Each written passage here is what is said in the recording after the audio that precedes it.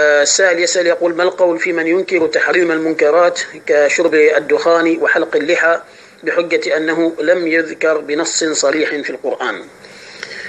الجواب على هذا من قال أنه لم يذكر بنص صريح فبالنسبة للدخان الشريعة جاءت بحفظ المقاصد الخمسة التي اتفق عليها كافة أهل العلم بل كافة المذاهب الإسلامية والأمة الإسلامية قاطبة. التي جاءت بحفظ المقاصد الخمس حفظ النفس والمال وحفظ النسل وحفظ الدين وحفظ العقل. وهذه من القواعد المتفق عليها من من أسهل الأمور التي اتفقت عليها الشريعة. فأي شيء يؤذي ويؤدي إلى الضرر وقتل النفس فالشريعة حرمته. والله تعالى يقول ولا تقتلوا أنفسكم إن الله كان بكم رحيما. ومن يفعل ذلك عدوانا وظلما فسوف نصليه نارا وكان ذلك على الله يسيرا. اذا هو بنفسه تعدى على نفسه فبالتالي قتل نفسه وبالتالي سيصل النار والعياذ بالله تعالى إن لم يرعوي ويتب عن هذا الغي والجهل الذي يقع فيه بسبب قتله نفسه قتله نفسه بهذا الدخان. وبالنسبة للضرر أيضا الله سبحانه وتعالى يقول ولا تلقوا بأيديكم بأيديكم ولا تلقوا بأيديكم إلى التهلكة ولا تلقوا بأيديكم إلى التهلكة وأحسنوا. ويقول سبحانه وتعالى وكذلك يعني لا أظن عاقلا لا أظن أن عاقلا ينكر ذلك ويقول بأن التدخين ليس هلاكا للنفس.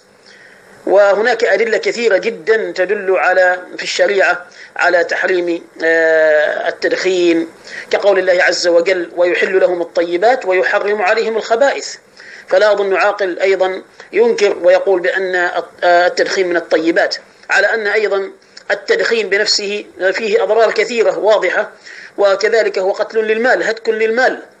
والله تعالى حذر المبذرين ونهى الشريعة نهت عن تبذير المال.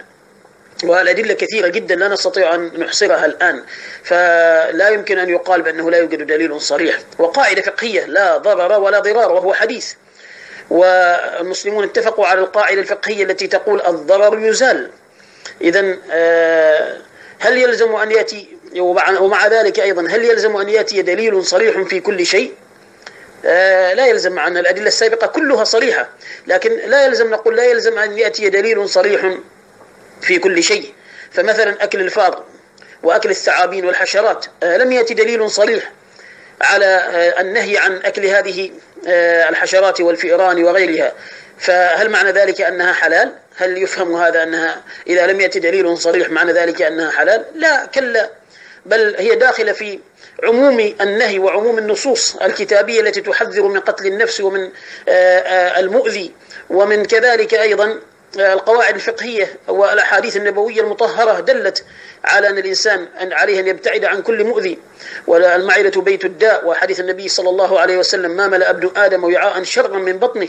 هذا إذا كان يملأه بالحلال ويمنع أن يكنز بطنه وحذر من ذلك فكيف بالأمور الضارة؟ أدلة كثيرة حول ذلك ولا يمكن أن يقال. ومن هنا يقال أيضا في اللحية. لا يلزم أن يأتي دليل قطعي لتحريم حلقها فهذه الأمور كلها يكفي فيها حديث النبي صلى الله عليه وآله وسلم ولا يلزم أن يكون فيها دليل قطعي. ومع ذلك يعني الأدلة صريحة أيضا في حلق اللحية في النهي عن حلق اللحية. النبي صلى الله عليه وسلم يقول جزوا الشوارب وأعفوا اللحى وفي رواية وفروا اللحى وفي رواية وأرخوا اللحى وفي رواية وأوفوا اللحى فإذا هذا نهي عن النبي صلى الله عليه وسلم. والله تعالى أمرنا أصلا في كتابه أن نطيع النبي صلى الله عليه وآله وسلم. وطاعة النبي بحد ذاتها دليل.